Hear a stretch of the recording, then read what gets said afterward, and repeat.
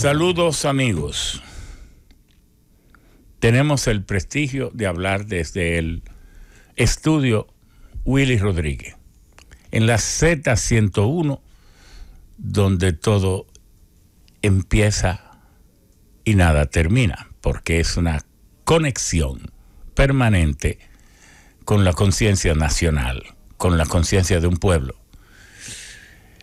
Los sabios en la Z como ya hemos repetido tantas veces, nació para ayudar, contribuir a conformar una ciudadanía responsable, que participe en el debate político, en el debate social, en el debate económico, en el debate medioambiental, científico, mejor formado, mejor informado, porque la democracia aplasta o permite que se aplaste a los desinformados, a los que no tienen voz, a los débiles. la democracia es el sistema, tal vez el menos malo de todos los sistemas, para que el que tiene fuerza hable con más vigor. Por eso tienen que ser los gobiernos que son sostenidos y pagados por la clase media y los trabajadores, que son la mayoría, porque las minorías ricas, las minorías empresariales, suelen no pagar impuestos o pagar muy pocos impuestos, porque entonces hay que estimularles para que creen más empresas y en eso entonces uno de los mayores estímulos es que no paguen impuestos. Entonces, estamos en la de nunca acabar.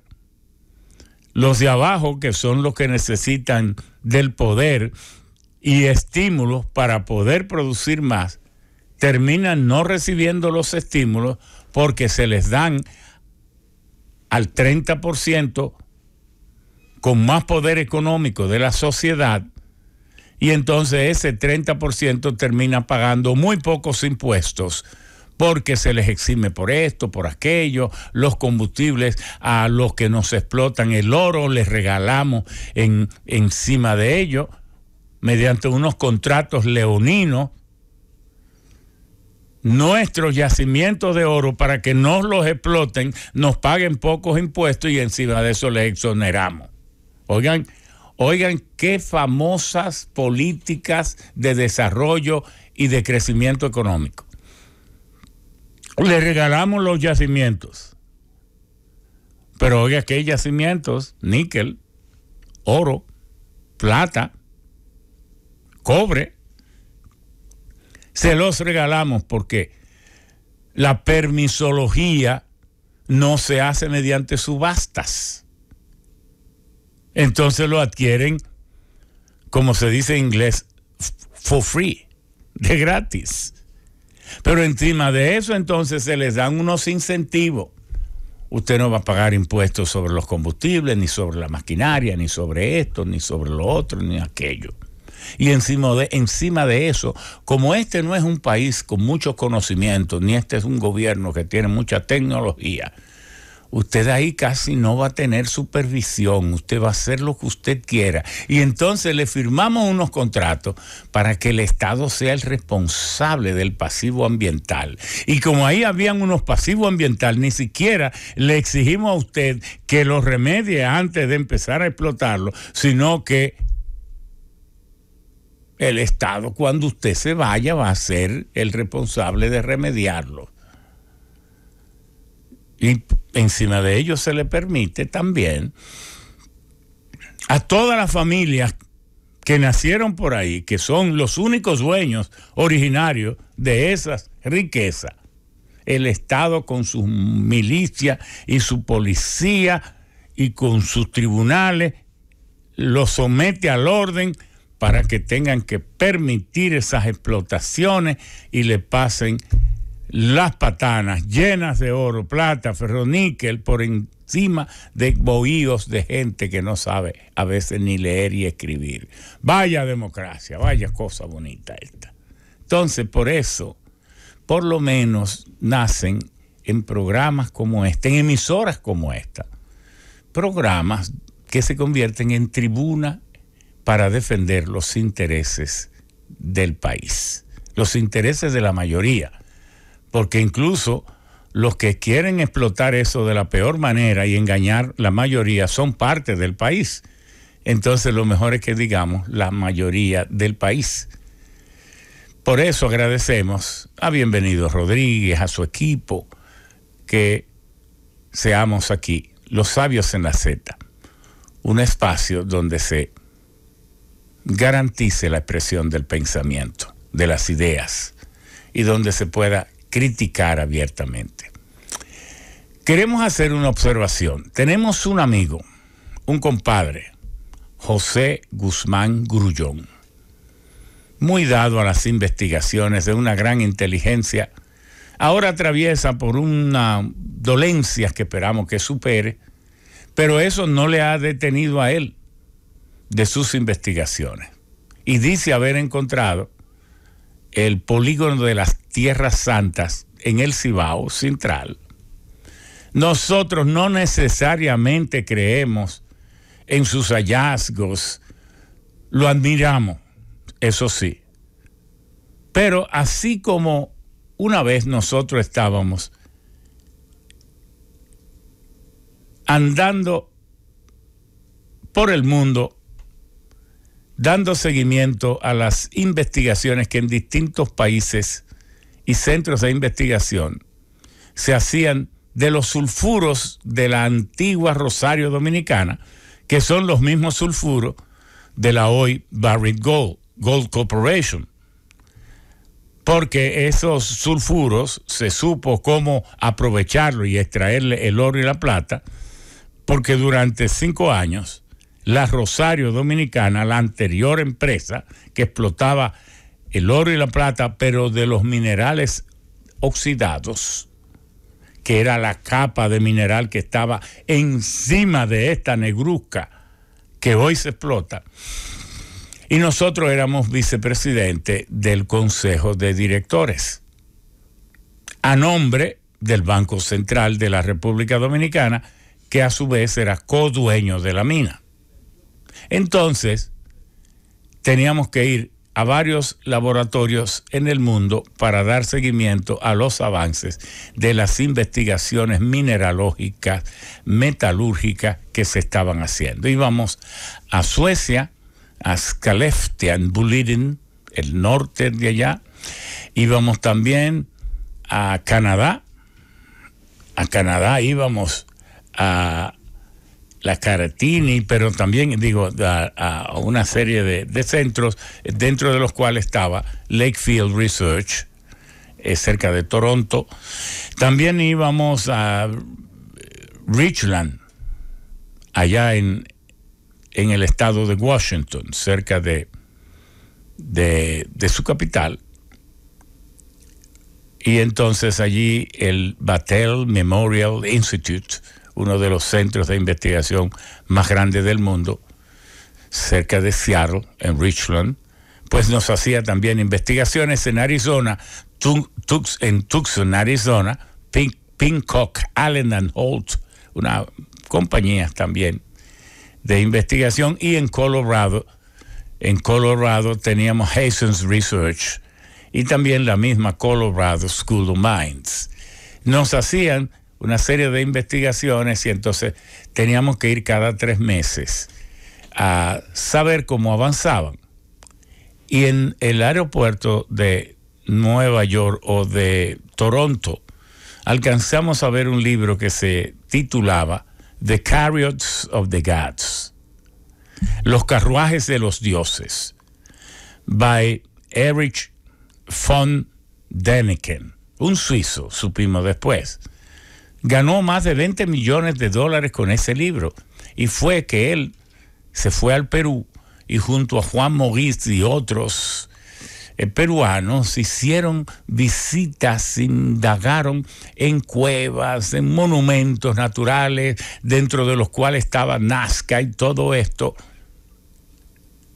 y postularon la tesis de que los extraterrestres habían estado allí, habían trabajado allí y publicó ese libro, porque muchos de los monumentos que él, analizaba, Erich von Däniken, no pueden haber sido construidos por el hombre. No hay formas de que hubiese tecnología mil, dos mil años atrás para hacer eso. Y entonces reveló cosas increíbles, prácticamente hijas de la imaginación. Entonces, si Deniken tuvo el derecho de publicar sus ideas, ¿por qué José Guzmán Grullón no puede publicar lo que él ha dado en llamar, que ha encontrado el polígono de las Tierras Santas en el Cibao, eh, en relación al varón de la atalaya, de aquel José Guzmán, eh, eh, José Guzmán, creo que Meléndez, que se ha convertido en mito y leyenda del que vienen las famulosas creencias de una serie de riquezas y de cosas, pero sobre todo circunscrito al área eh, religiosa. ¿Qué queremos decir? Que el, el, próximo domingo él tendrá unos 10 o 15 minutos para que nos adelante algo de sus de los dos primeros capítulos de su libro que luego publicará in extenso. Hoy también queremos hablar de nuestra actitud como proponente del partido, hoy Partido Revolucionario Moderno, como alto dirigente de esa organización que vio un poquito más allá de la curva de la necesidad de salir de aquel aquella prisión en que nos había lanzado el pacto de las corbatas azules de Miguel Vargas y de Leonel Fernández, que negoció la compra del PRD, ponerlo al servicio del partido, dominar, sojuzgar, someter, convertir en peón al partido que había sido escuela de democracia, templo de libertades y de principios, que era el Partido Revolucionario Dominicano, y un grupo que nos oponíamos a esos pactos y a esa forma antidemocrática de dirigir la política del país. Entonces nos opusimos, fuimos a los tribunales y ya el Tribunal Superior Electoral, cuyos miembros habían sido electos como producto de ese pacto donde se dividieron, repartieron los jueces del Tribunal Superior Electoral y de los demás jueces, entre estas dos personas ya mencionadas.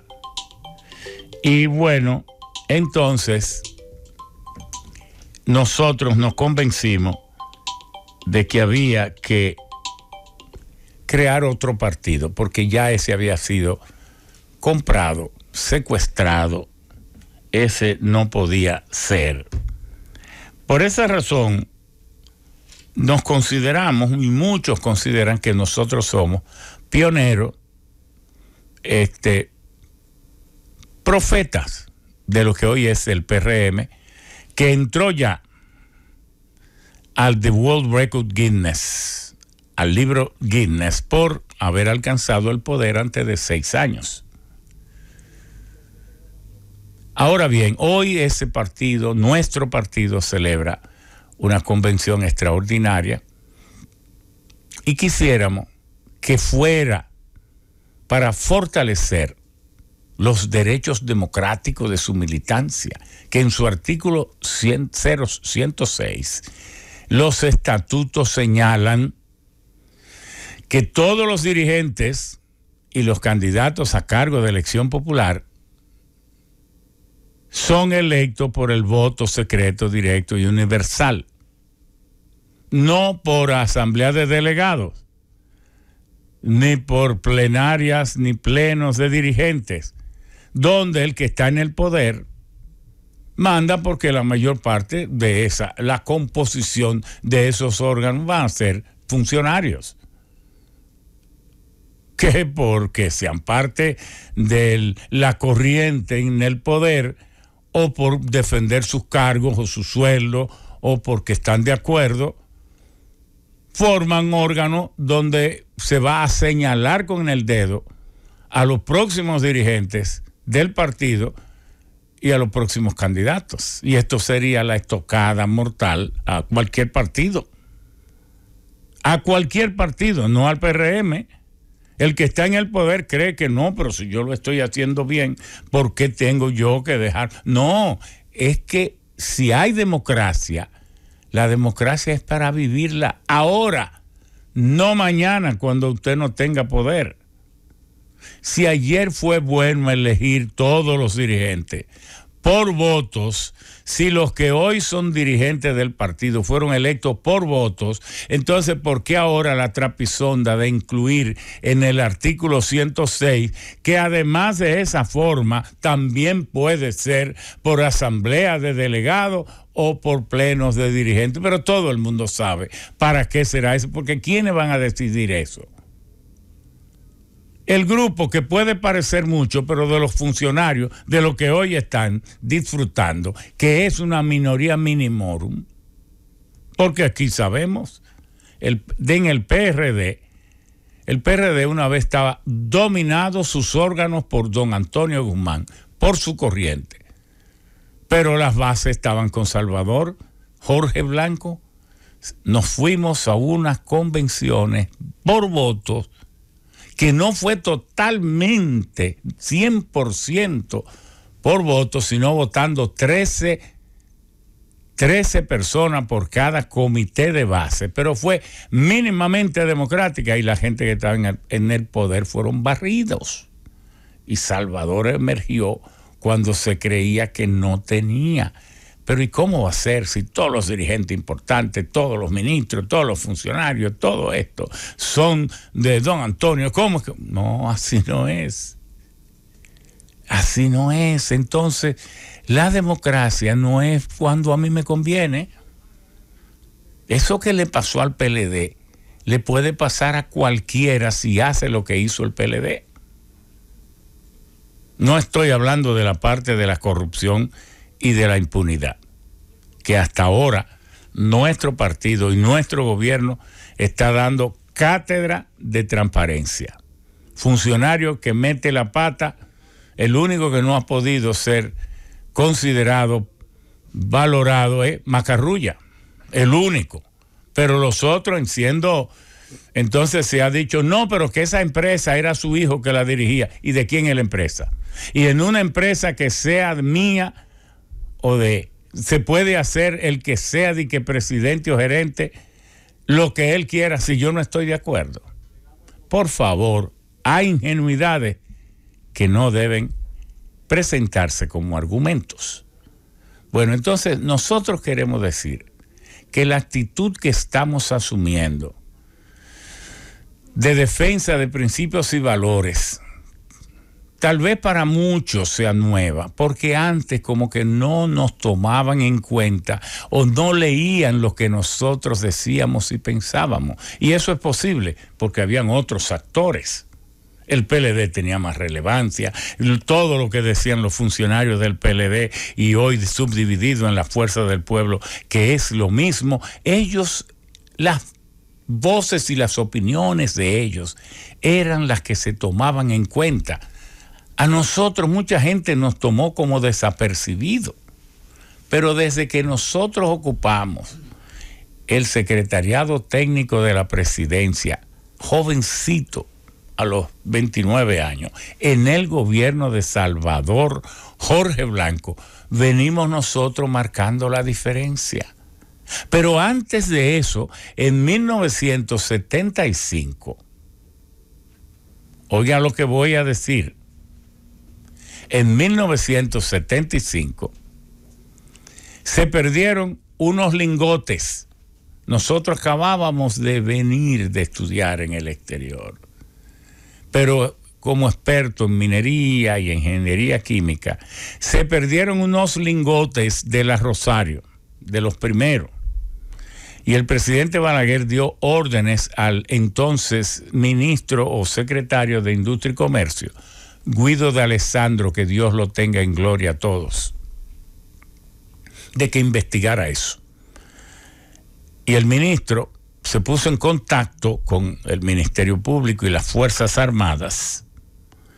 Y la Fuerza Armada designó, delegó en Ramiro Matos González, el general que ojalá quiero que tenga buena salud. ¿Y quiénes fueron las dos personas cabeza de esa investigación? Ramón Albuquerque y el general Ramiro Matos González. Nosotros entonces, con 25 años,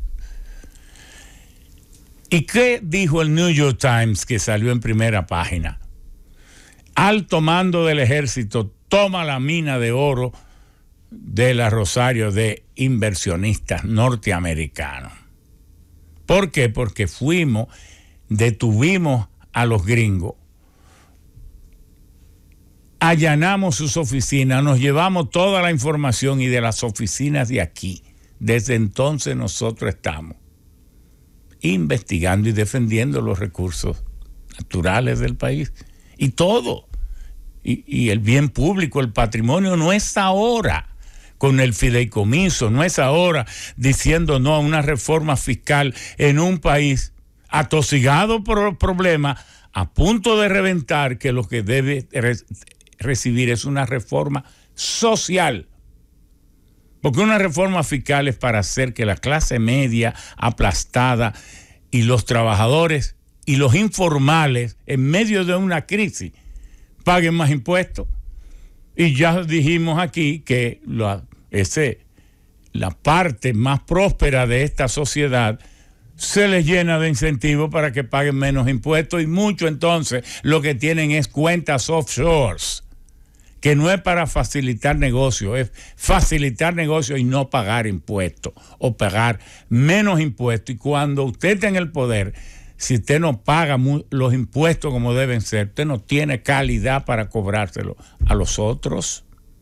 Nosotros eso siempre lo hemos dicho.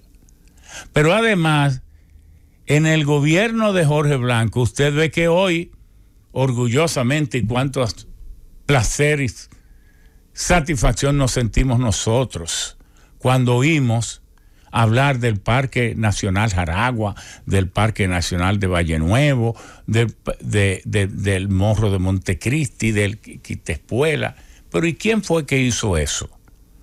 A todos los que defienden esos parques nosotros los estimulamos, pero hay que saber que cuando Alcoa Exploration Company se retiraba de este país, la dueña casi de Pedernal entero, a quien le entregaron la carta diciendo que se retiraban y donándole todo eso fue a nosotros que éramos secretarios técnicos.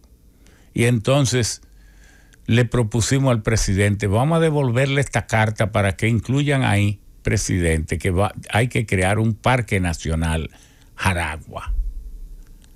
Y el presidente lo aceptó y llamamos a Patrick, Patrick Houston, que era el gerente general, le dijimos eso. ¿Y quién fue que preparó el decreto en 1983? Que salió el 13 de agosto para crear todas esas áreas protegidas. Fuimos nosotros redactado por nosotros y Miguel Gómez, que era el secretario ejecutivo de CONATEF, la Comisión Técnica, eh, Comisión, Comisión Nacional Técnica Forestal, que nosotros presidíamos, que era el antecesor del Ministerio de Medio Ambiente, en adición a nuestras funciones de ministro de Planificación y Economía y, y Desarrollo. Eso éramos nosotros en ese entonces. Jovencitos. Y usted puede ir uno por uno,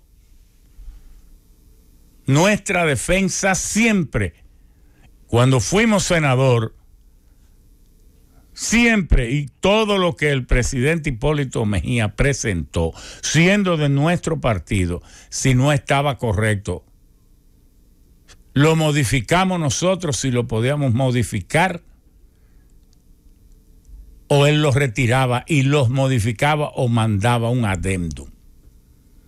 Porque nunca pasó por allí nada que fuera contrario al Y yo reto a alguien que vaya.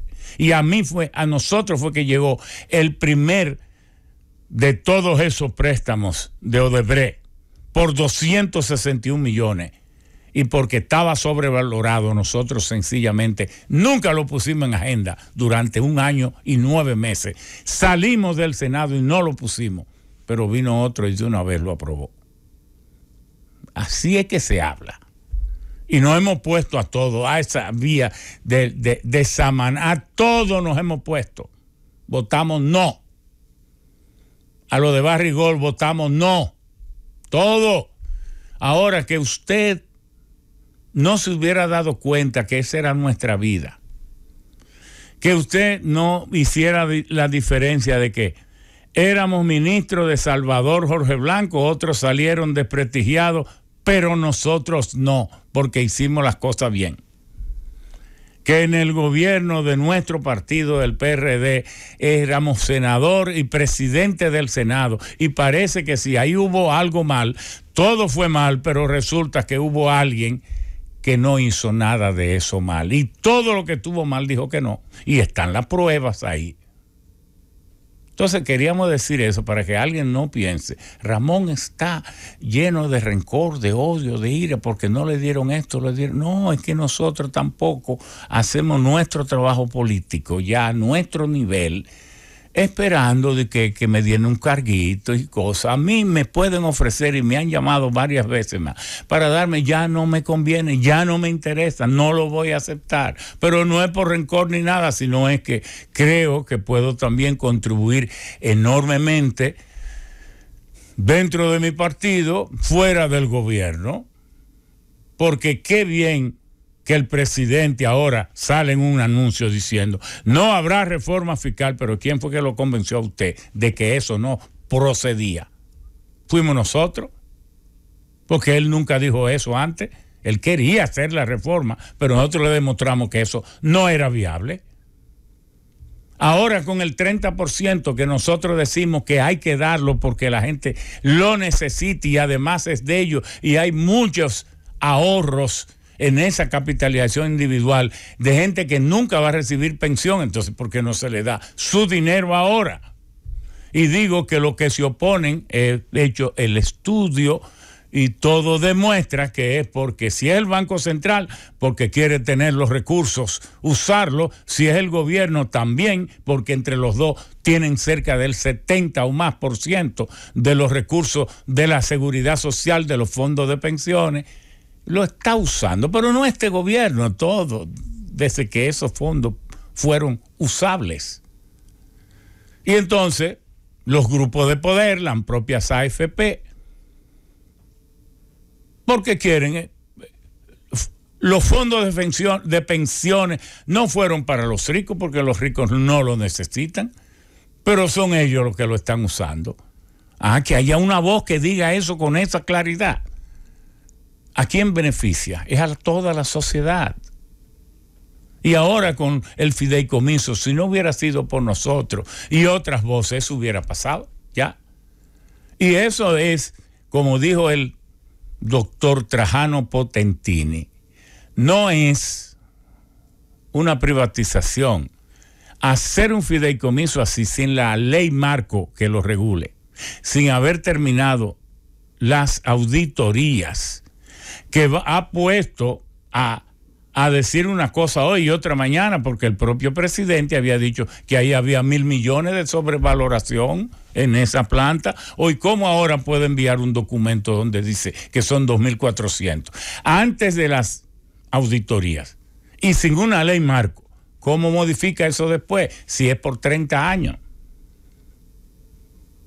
Pero además con una fiducia que puede ser cambiada en cualquier momento y puede entonces caer en manos privadas.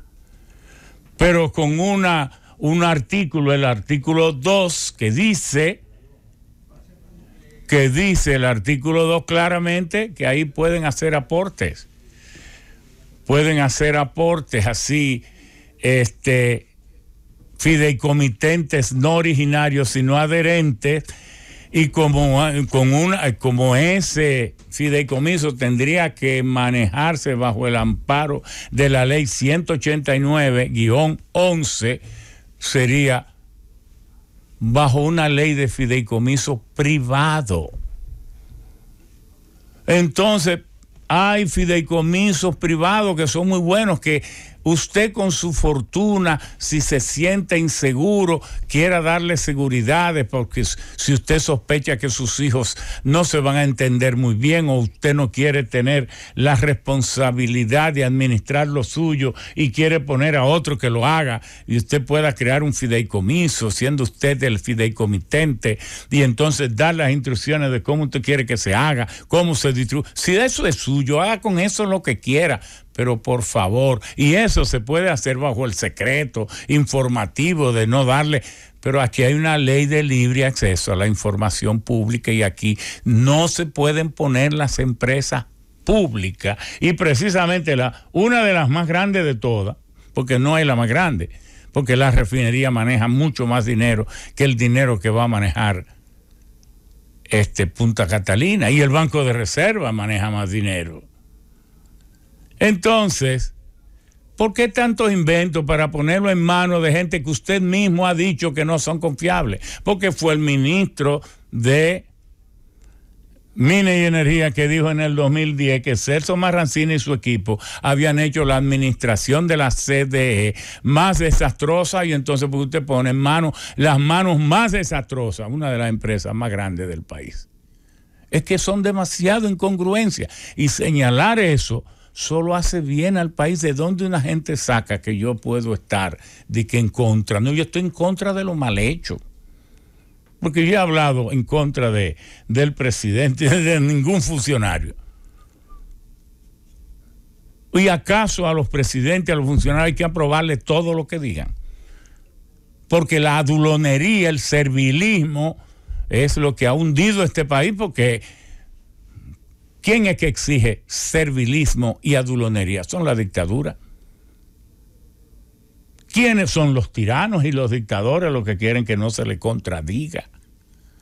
No, eso no es así. Nosotros tenemos nuestra alma limpia.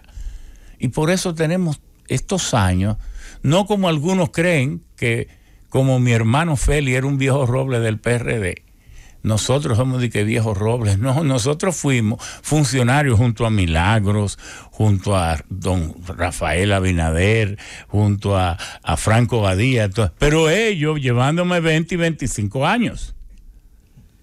Sí, nosotros con, con 28, 27, 30, 29 años y ellos ya con sus 60 y 58. Entonces, es, es, si es verdad, hemos estado juntos pero no con la misma edad. No, nosotros, de hecho, nosotros nunca fuimos dirigentes del PRD. Y en el 1990, nuestro pueblo en Monte Plata nos eligió senador.